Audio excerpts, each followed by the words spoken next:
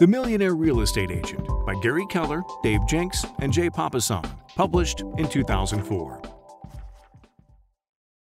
The Millionaire Real Estate Agent explains how a real estate agent can build a lucrative business and routinely net $1 million or more in personal income by copying techniques from high earning industry professionals.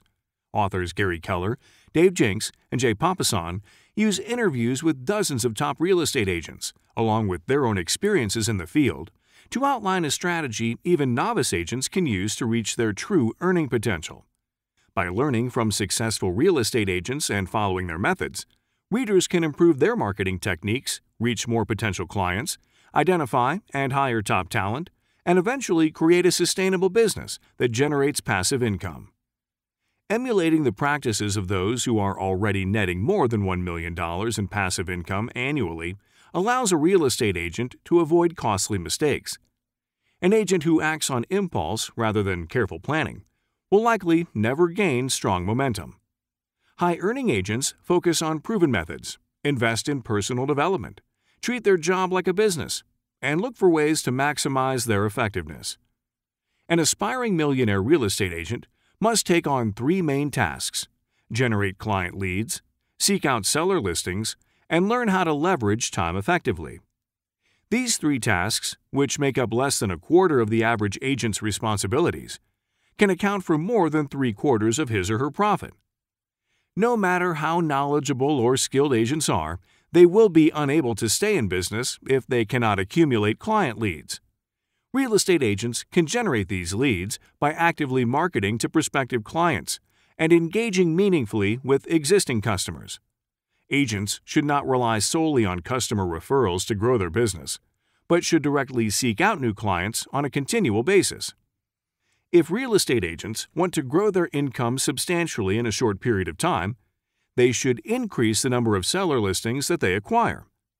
Agents can obtain seller listings more easily and cheaply than they can help a client buy a house. Not only are seller listings easier to accumulate, they also provide better marketing opportunities because they allow agents to advertise to potential clients who have not previously been contacted. Homes for sale can be advertised in newspapers, through direct mailers, and in online ads. Successful real estate agents know that their efforts will be much more effective if they manage their time wisely, hire the right people, and emulate the practices of agents who earn $1 million or more a year. A millionaire real estate agent constantly strives to generate the most profit from the smallest amount of effort. If agents focus on accumulating client leads and seller listings, they will have already taken a big step toward efficiently leveraging their time. Hiring the right employees can also help agents use their time effectively by allowing them to delegate tasks that slow down their workday. By carefully choosing trustworthy and driven workers, agents can build a business that eventually does not require their constant attention and presence. After mastering the process of generating leads, accumulating seller listings, and effectively leveraging their time, real estate agents must go through four stages of business growth. They must first learn to think like a millionaire real estate agent. Next, their business must earn $1 million in profit on an annual basis. After that, an agent must generate enough sales to net $1 million in personal income annually. Last, a successful agent must passively receive $1 million or more in annual income from the business once it has been built. Anyone, no matter their track record, can become a millionaire real estate agent if they are willing to put in the work and commit to proven methodologies used by agents who reached this goal. Key insights 1. Real estate agents who doubt their abilities can severely limit their earning potential. 2. Repeated failure is necessary for eventual success. 3. Even when business is plentiful, real estate agents should never stop generating client leads. 4. An administrative assistant should be a real estate agent's first hire. 5. An ideal employee goes beyond the minimum requirements of the job description. 6. By requiring employees to routinely document their methodologies and results, a real estate agent can more easily hold staff accountable. 7. Millionaire real estate agents tackle difficult but essential tasks first. 8. Successful real estate agents set and maintain focus on long term goals. Analysis Key Insight 1 Real estate agents who doubt their abilities can severely limit their earning potential. Many real estate agents think that they are incapable of generating $1 million in profit on an annual basis, but these agents have never truly attempted to meet this goal. They have not determined how many listings they must sell on a monthly or yearly basis to improve their business, or planned out how often they must advertise and directly contact clients to generate a sufficient number of leads. Until agents try to become a millionaire, they are not capable of judging their limitations. Often, an agent's self doubt stems from fear. In a 2016 Science magazine essay, David G. Jensen explains that when people's anxieties limit their career, they generally fear not only failure, but also success and change.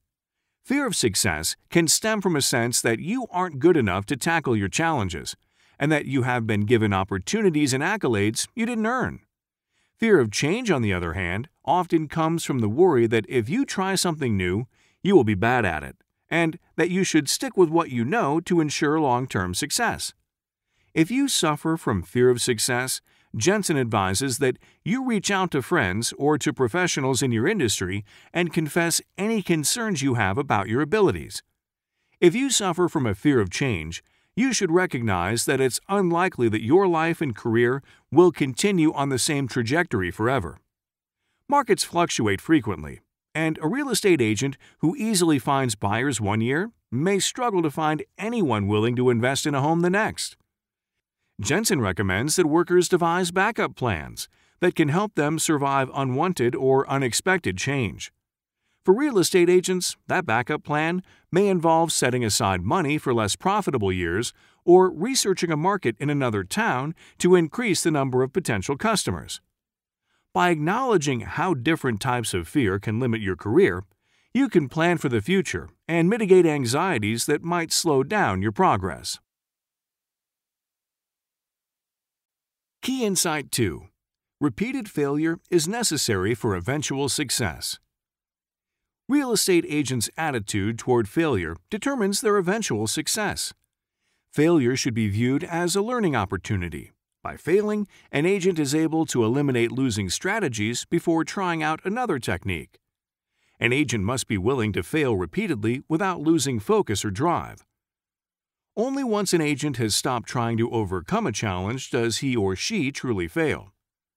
Since success is easier to achieve after a certain number of failures, agents may choose to aim for a certain amount of failure on a yearly basis to ensure that they are putting maximum effort toward achieving their goals. For example, a tactic that could be borrowed from writers is to aim for a certain number of rejections each year after a certain number of rejections, they are sure to get at least one acceptance. For example, a motivated real estate agent who wants to learn from failure may decide that he wants to be turned down by 100 potential clients each quarter, or that he wants to receive three rejected offers for each listing before a winning bid is identified. By setting a failure goal, he can allow himself to make mistakes without becoming paralyzed by a fear of failure. While setting a rejection goal can help, the agent also should be sure to examine why he failed after each setback, so he can try to improve his methods and adapt his strategy. He should also make sure his failure goals are not so lax that they threaten the health of his business. A failure goal that requires you to not sell any houses in a given month will not lead to professional prowess and will make it easier for you to excuse lazy behavior and low aspirations. Alternatively, a failure goal that requires you to entertain multiple potential clients before eventually selling a listing will increase your skills, since you are required to interact with different personalities and learn whether a buyer is serious or just looking. Key Insight 3 Even when business is plentiful, real estate agents should never stop generating client leads. If agents have more business than they can handle at any one moment, they might be tempted to stop soliciting additional clients. If they do stop looking for new client leads, however, they may struggle when business slows down. Real estate agents must always prioritize lead generation, even when work is plentiful, to ensure that there will always be enough opportunities to meet long term goals. Just because you seek out new client leads on a consistent basis doesn't mean you should accept every work opportunity that comes along. As more client leads come pouring in, agents will have to become picky about which leads they follow up on and which ones they refer to another agency. In It Doesn't Have to Be Crazy at Work, authors David Heinemeier Hansson and Jason Fried recommend that professionals be more stingy with saying yes to opportunities than with saying no. When agents say yes to a potential client, they are inadvertently saying no to clients that they haven't had the opportunity to consider. On the other hand, if a real estate agent politely turns down an offer to work with a client, he or she may still be able to work with that person in the future. Turning down opportunities for work may feel final, but saying yes to everything can limit earning prospects and pose an obstacle to meeting income goals. If your realty business grows to the point where you're constantly overbooked, you may have to consider letting go of your earliest, lowest paying clients and sending them to agents who are still building their customer bases. You may be able to work with such clients later if they are able to bring you the amount of business you have come to expect. Key Insight 4 An administrative assistant should be a real estate agent's first hire. When agents have more business than they can handle on their own, they may be tempted to hire another agent with whom to divide the work. The more practical move, however, is to look for a talented administrative assistant who can maximize the agent's time by taking on routine tasks. The administrative assistant can take over an increasing number of responsibilities and may eventually become an executive in the company when the agent has moved on to collecting passive income from the business.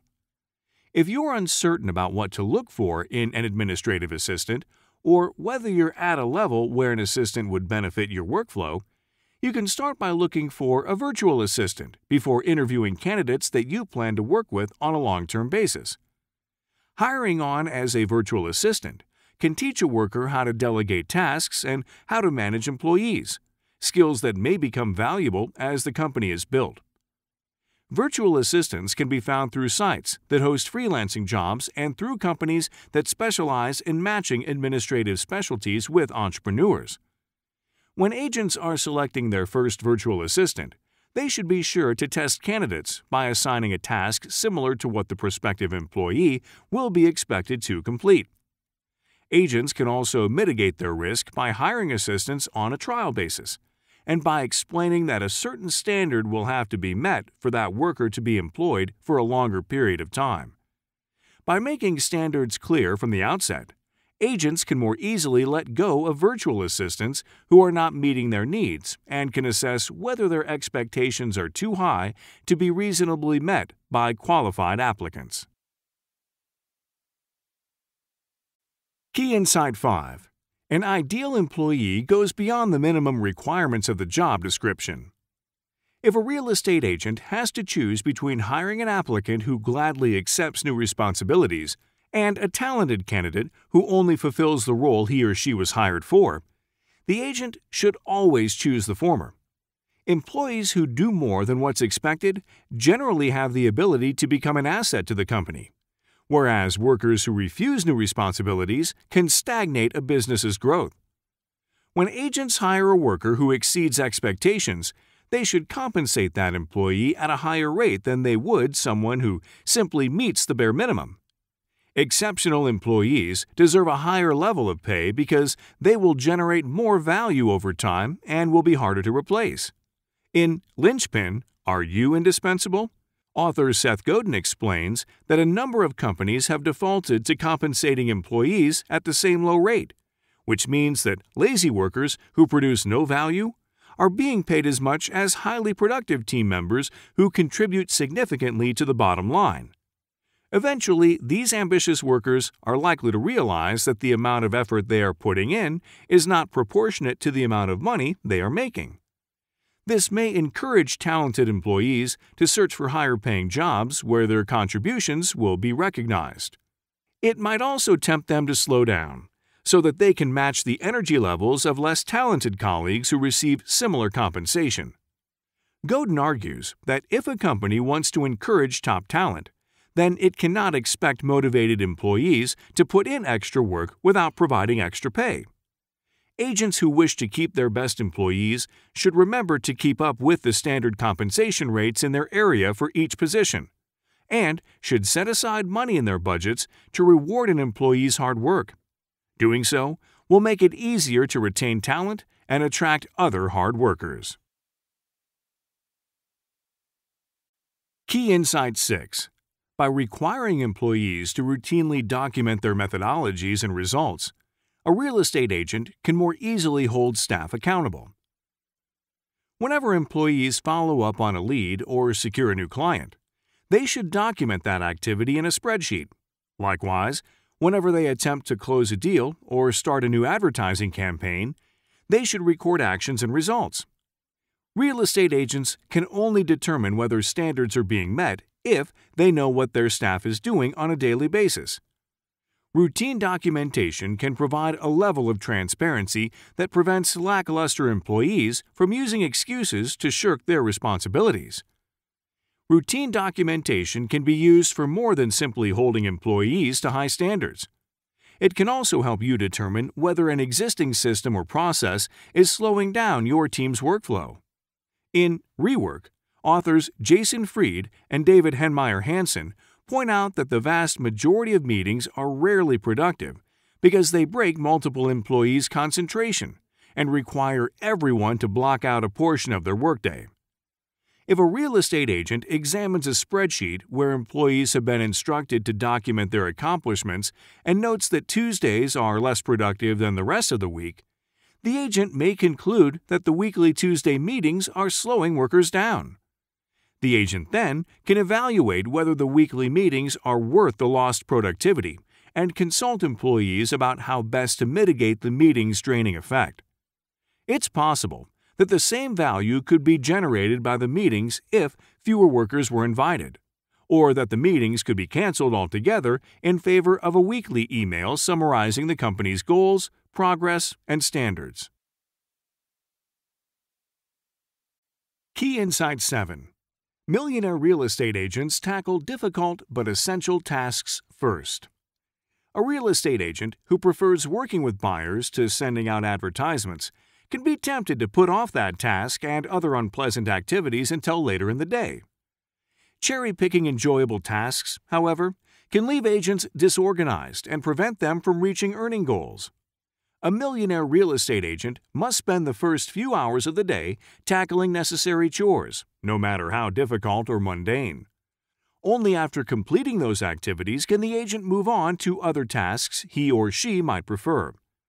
If you find yourself continually procrastinating when faced with boring but necessary tasks, it may be worthwhile to examine why these chores are so difficult to complete. In a 2019 Entrepreneur column, writer Aytekin Tank explains that self reflection can help ambitious business owners break bad habits that prevent them from completing imperative but mundane assignments. For example, a real estate agent may find that she once had no problem gathering leads and acquiring listings on a daily basis. But over time, those tasks have become more difficult to complete. Her zeal for those chores may have lessened because they no longer seem new or exciting, Tank says. A person's brain is more likely to release dopamine when facing a novel or challenging task than when dealing with an already mastered activity. Humans often expect instant gratification for their efforts and have trouble putting off immediate profit in favor of a larger future return on their efforts. If an agent struggles to stay motivated when gathering leads and listings, it might be worthwhile to implement a small reward system as a motivational tool. Completing 10 calls to potential clients, for example, could be rewarded with another cup of coffee or with a 15 minute break spent reading a chapter from a favorite book.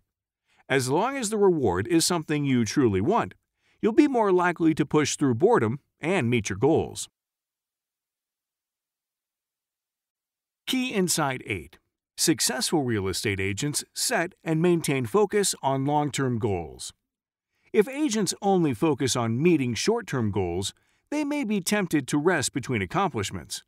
However, if they set long term goals, they can still celebrate small victories but will recognize that a lot more effort will be required to achieve long term goals.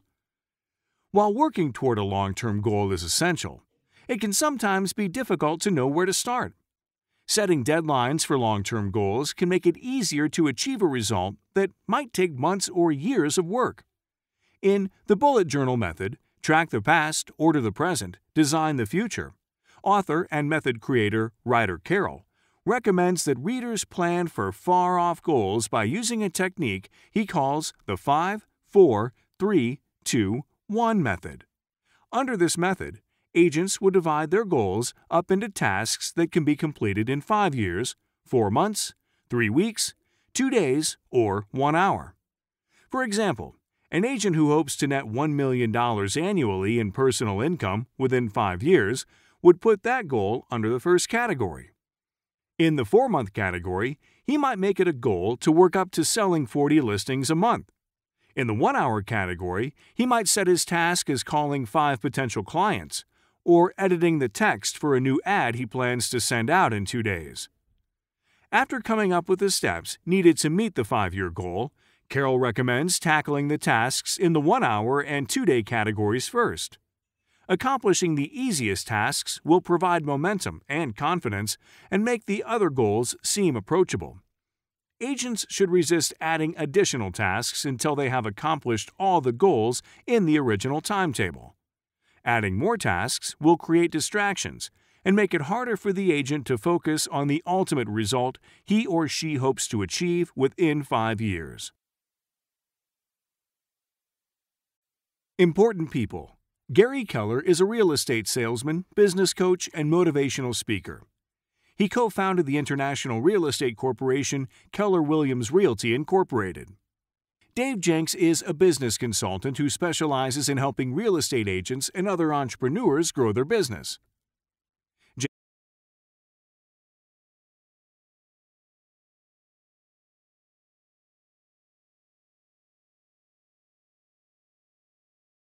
Papasan is a writer, real estate investor, and motivational speaker who frequently co writes books with Keller. Author's Style After growing Keller Williams Realty from a small operation to an internationally recognized corporation, Gary Keller began focusing on helping other real estate agents achieve the same level of success. Shortly before The Millionaire Real Estate Agent was written, Keller and co author Dave Jenks created instructional materials for realty programs offered through Keller's educational organization, Keller Williams University. The Millionaire Real Estate Agent was a direct product of that collaboration and reflects the kind of course material that might be found in one of Keller's classes. Readers are instructed to follow the models outlined in the program without question and are provided with flowcharts, sample scripts, and other supplementary material to help guide them through the process of organizing and expanding a business. At the end of the book, Two appendices provide sample sheets demonstrating how an agent might set up expense reports and overall business budget. Although The Millionaire Real Estate Agent was written by Keller, Jenks, and co author Jay Papasan, Keller frequently acts as the narrator. While the book relies heavily on Keller's professional experiences, the authors also include perspectives from other top real estate agents. Numerous quotes from millionaire real estate agents are threaded throughout each chapter and a section at the end of the book provides extended profiles of 16 agents who net more than $1 million in income each year. The Millionaire Real Estate Agent has three parts broken into numerous subsections. The first part explains the mindset needed to implement Keller's methods.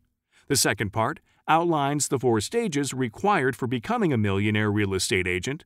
And the third part explains how a millionaire agent can retain success a preface and acknowledgments section is also included. Author's Perspective Gary Keller, Dave Jenks, and Jay Papasan understand the value of creativity.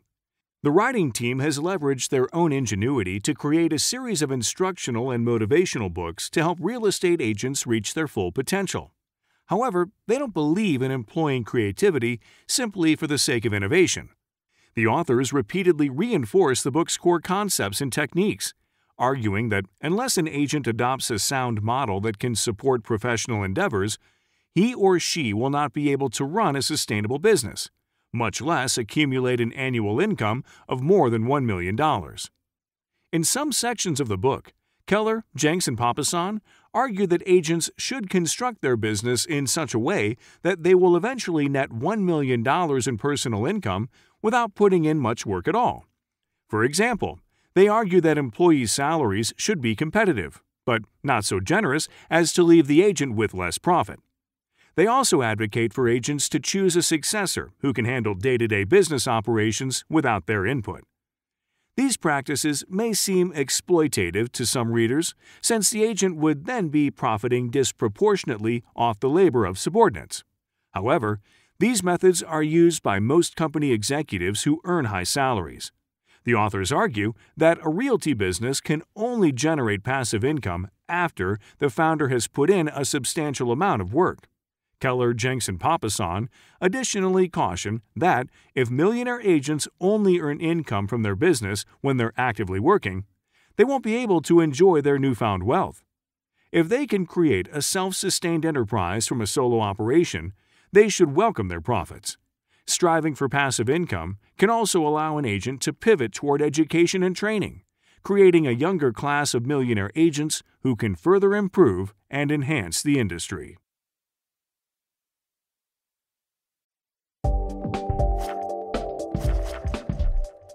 This has been InstaRead, reporting on The Millionaire Real Estate Agent by Gary Keller, Dave Jenks, and Jay Papasan. Narrated by Sam Scholl. Copyright 2019 by InstaRead. Production copyright 2019 by InstaRead.